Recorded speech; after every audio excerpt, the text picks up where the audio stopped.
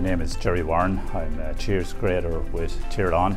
I was about two years learning the trade of flavours, textures, bodies, and uh, was trained with Bernard Rutledge, who was manager of the Wexford plant at that stage. So the first thing you do, we, the, when the cheese is produced, uh, there's samples taken off the line, and then they're graded. Mild is graded at about six to eight weeks, matures is graded at about eight to ten weeks, and that process continues then until all the cheese would be sold off. What you're looking for is uh, make sure there's no off flavours in the cheese first of all.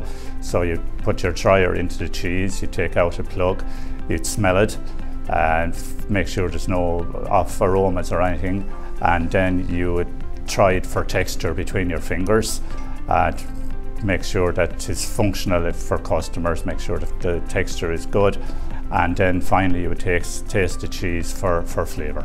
The cheese grader, it's, it's getting to know about the flavours, uh, the mild matures, vintage, uh, extra matures, and the texture that goes with that, but also you need to know what your customer requires.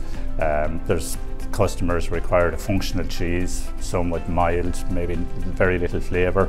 Then you're grading for mature customers, uh, different bodies, different textures. We have two plants in Tirlán that make produce cheese. One is in Ballyragget and the other is in Wexford. We make uh, curd right up to mature cheddars. Um, they're award-winning cheeses. We've won many awards both from Wexford and Ballyragget. For more information on our award-winning cheeses, go to tirlaningredients.com.